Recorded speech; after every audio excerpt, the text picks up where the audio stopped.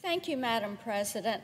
My colleague said it so very well. The inflation bomb is exploding, and people in Tennessee are incredibly concerned about that. I hear about this every single day from Tennesseans. They're also concerned about the fact that it seems that the Democratic majority has been unable to push forward a budget that would be bipartisan, that would have appropriate spending, that would prioritize the needs and the concerns of the American people. Until just a few hours ago, we didn't have any insight into an infrastructure bill that would be bipartisan, and I applaud those that have worked so diligently to reach a bipartisan agreement. But the American people have started to lose a lot of their trust and a lot of their patience with Washington, D.C. And I, I think that we can say rightfully so, because they are watching the cost of government go up. They are watching the hesitancy to move forward on their concerns, and they are speaking out to us. And so I had a Tennessean this week ask me why Washington was wasting so much time. Because time is money, and they want to see things done. And we know that we need to see what these bills are going to look like. We're hearing that the majority wants to bring forward this tax and spend spree of legislation that would be trillions of dollars. And we know that what would end up happening is this would be something that I call it lie, cheat, steal you don't say exactly what you're going to use the money for. You don't say exactly where the money is going to come from within the budget. Eventually, all of it comes out of the taxpayer's pocket.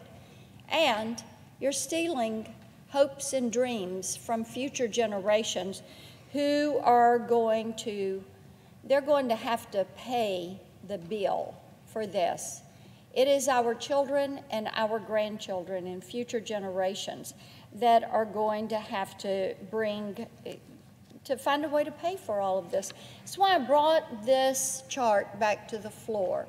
I've used it recently here on this floor to remind us of Ronald Reagan's words. Freedom is never more than one generation away from extinction. It has to be fought for and defended by each generation. Very true words. And what a good reminder to us because as we give government more control over our lives, as we give them more control in the federal budget, as the government takes more money out of the pocket of hard-working taxpayers, what do we see? We see less freedom. And there is such concern that the Democratic majority has refused to come forward and say how they want to, to spend these trillions of dollars. I think part of that is because there's not a way to pay for it, and they don't plan to pay for it. Instead, they are going to send that bill to future generations. And Madam President, this is dangerous we are upside down on this national debt. When you look at how that debt clock is ticking.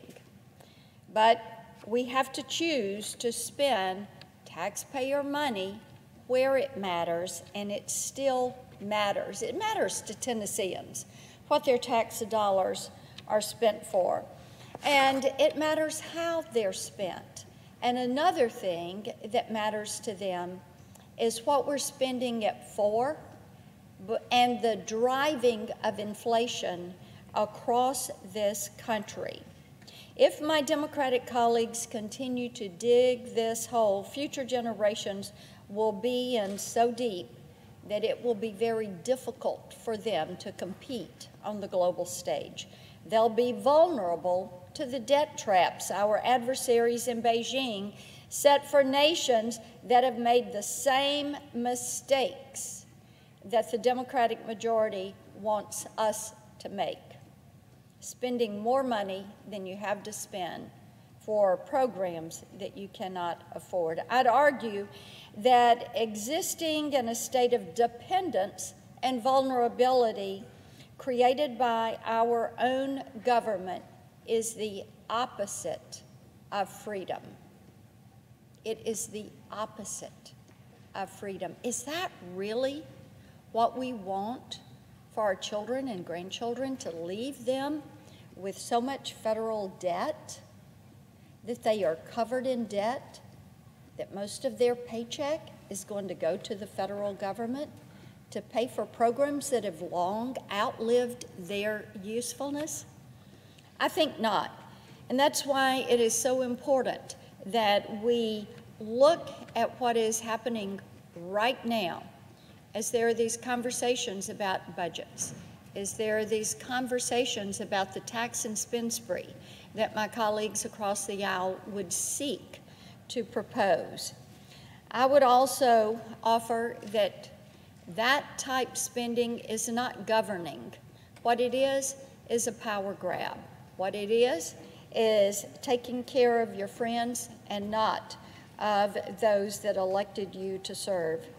The American people can see what is coming at them from a mile away, and they are expressing their concerns to DC's out of control tax and spending spree. I yield the floor.